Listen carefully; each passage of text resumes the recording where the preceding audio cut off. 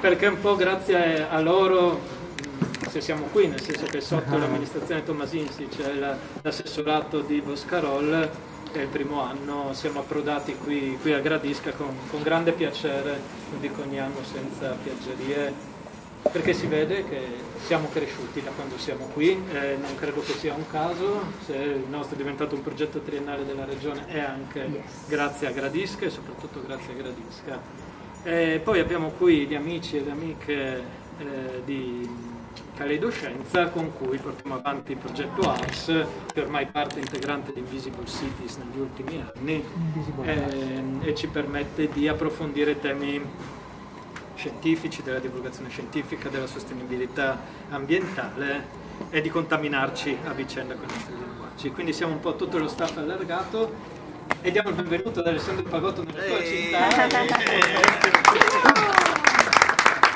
Erediti, un festival ci fa piacere che, sì, che ci siamo sì. trovati in sintonia. Eh, ringrazio ovviamente Marco per la continuità di, di supporto eh, e per tutto il di più che fate non è banale che un comune sostenga al di là delle economie, dei, dei soldi che sono importanti, ma come, come progetto. Saranzano c'è, c'è un po' di competizione positiva. Ecco. Eh, e ringraziamo il Circolo Arci Schianto che insieme a noi quest'anno ha creduto e investito in questo progetto mm-hmm. che è un primo tentativo di creare uno spazio festival ibrido fra lo spazio confronto, chiacchiera, confronto con gli artisti, bevuta, relax per lo staff, insomma ci piacerebbe un luogo proprio collocato a metà fra le nostre location che speriamo sia un luogo di intersezione durante tutte le giornate del festival.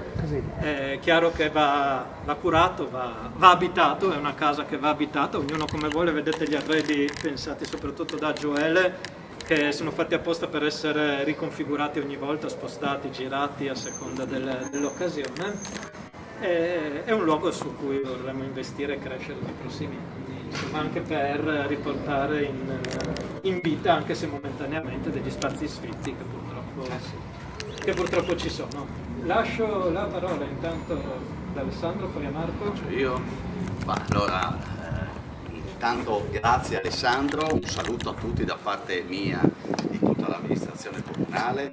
Ha detto bene prima Alessandro, ringrazio subito chi ha portato avanti e ha creduto in questo progetto e quindi in primis il sindaco, grazie Linda eh, per aver... Eravamo insieme. Eravamo insieme, vabbè, ma eh, tu eri sindaco, noi ero assessore, insomma quindi eh, abbiamo condiviso questa cosa, però naturalmente è merito a chi mi ha preceduto se oggi siamo qui, anche perché io a distanza di due mesi non avrei potuto fare questo eh, sicuramente. Quindi quello che eh, va detto è che, eh, a parte il ringraziamento a Linda, è che riteniamo che Invisible City sia un festival di arte contemporanea di grande valore, noi siamo contenti di avervi qui eh, a Gradisca e pensiamo che eh, attraverso eh, anche a questi momenti qui rinforziamo ancora di più quello che è un po' il ruolo di Gradisca della nostra città per quanto riguarda il panorama dell'arte contemporanea su tutto il territorio eh, regionale. Quindi credo che noi su questo rappresentiamo un punto di riferimento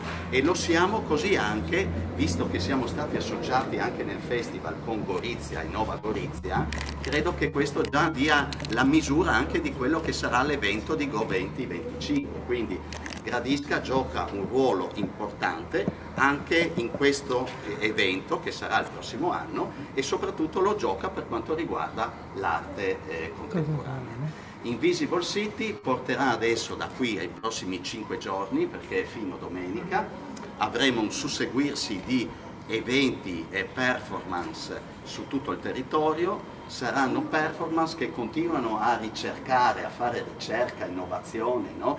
ma anche fanno riflettere su tematiche no? eh, del nostro vivere quotidiano, tematiche che eh, sono più che mai di attualità, tra cui anche il tema eh, dell'inclusione, quindi tematiche sulle quali noi come amministrazione già eh, con Linda abbiamo iniziato a fare molto anche in vari settori e su questo noi ci crediamo e quindi penso che sia importante oltre all'aspetto artistico ma anche che ci abbia anche un senso anche dal punto di vista della eh, riflessione della, eh, di quello che sta alla base di tutto. Il festival si sviluppa nelle vie della città, penso che un aspetto importante è che lo vedremo tutti, ma qua vedo che sono tutti anche del tuo staff, no? del, sanno bene, si sviluppa in quelli che sono i contesti pubblici della città. E allora, ecco, un aspetto anche che riconosciamo a questo festival ci porta a riscoprire la nostra cittadina, gli angoli, i momenti, i, i punti suggestivi della città da un altro punto di vista attraverso alle performance che vengono di volta in volta eh, prodotte. Quindi avremo delle manifestazioni, degli appuntamenti nella corte eh, del comune piuttosto che nell'atrio, nella via, spero, Ciotti, teniamo, incrociamo le dita per il tempo, no, speriamo di farla nella via perché mi farebbe molto piacere perché eh, ha un altro eh, senso naturalmente. Andremo eh, pomeriggio tardo alle 19 nel, nel complesso del castello che abbiamo da poco acquisito, anche questo frutto di un grande, grande lavoro portato avanti negli anni no? e che siamo orgogliosi adesso di poter aprire la cittadinanza in qualità di proprietari. Quindi eh, sicuramente anche questo è un passaggio molto importante e quindi ci tenevamo molto anche di fare queste rappresentazioni lì all'interno. Eccoci. Quindi non voglio dilungarmi molto perché sennò qua ci squaglia eh, il sole. Allora, e si scalda, si scalda, il, si scalda ecco. allora io direi grazie all'associazione 4704 ad Alessandro a tutto a il suo staff a Miriam a Gioele a tutto lo staff a tutti voi che siete qua numerosi e che credete e sostenete questo festival. Grazie al sindaco che eh, preceduto e quindi per aver creduto in questo e grazie a chi assieme al comune eh, diciamo, garantisce tutto questo anche dal punto di vista economico e quindi penso naturalmente alla regione Friuli Venezia Giulia e alla fondazione Carigo ecco, che sostiene questo importante appuntamento. Quindi l'invito a tutti ecco, a eh, coloro, eh, ai cittadini e anche agli avventori di Gradisca è a seguire il festival e a tutti gli appuntamenti che si susseguono da qui eh, a domenica e sono tantissimi perché eh sì. sono uno dietro l'altro, quindi eh, però sono dei momenti importanti che da parte nostra invitiamo a, a seguire. Ecco, grazie. Grazie.